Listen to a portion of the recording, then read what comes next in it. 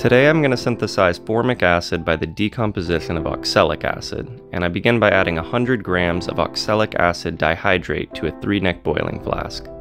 Oxalic acid is the simplest dicarboxylic acid, and when it's decarboxylated, it forms formic acid, which is the simplest carboxylic acid.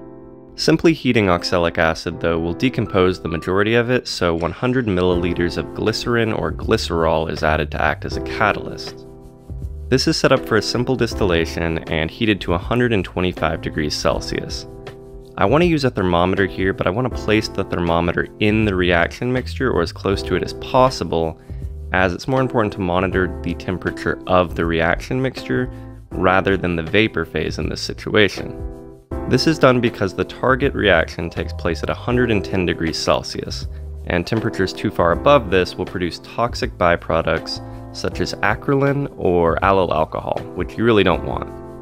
I've included the reaction mechanism here and you can pause it if you're interested, and I also want to note that formic acid shares its name with a type of wood ant that sprays formic acid as a means of self-defense, which is pretty interesting. In any case, eventually you get some distillate coming over, but there's not a lot of formic acid here, and this is because this reaction relies on an excess of water present in order to drive it forward. To remedy this, I add 110 grams more oxalic acid dihydrate to provide more water and more oxalic acid to keep the reaction going forward.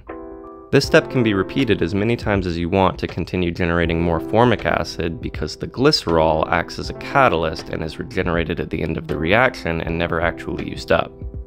To that end, I keep collecting distillate until the bubbling stops again before adding 50 milliliters of distilled water.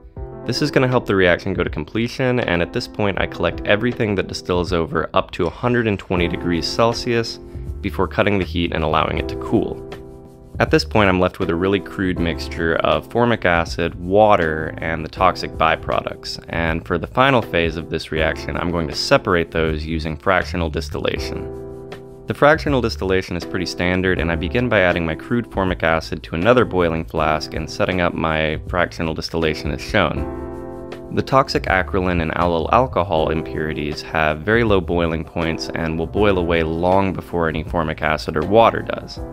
Water will begin to distill away at around 100 degrees Celsius, and a 77.5% azeotrope of formic acid and water will distill over at around 105 degrees Celsius. That said, I want to collect everything that distills up to 104 degrees Celsius and discard it as waste. At that point, I'll switch out my collection flask and begin collecting pure 77.5 azeotropic formic acid. In the end, I got a little over 125 milliliters of formic acid, and I didn't titrate it for purity, but I can if you guys are interested. On the topic of purity, I get comments from time to time about how my product is not entirely pure, and I am aware of that. Dehydration and purification of products is an incredibly easy process that I'm more than capable of doing. The main reason I don't is that I really want my videos to stay short and emphasize the process rather than be a boring science tutorial. If you'd like to see some purification videos, consider giving me a follow and let me know.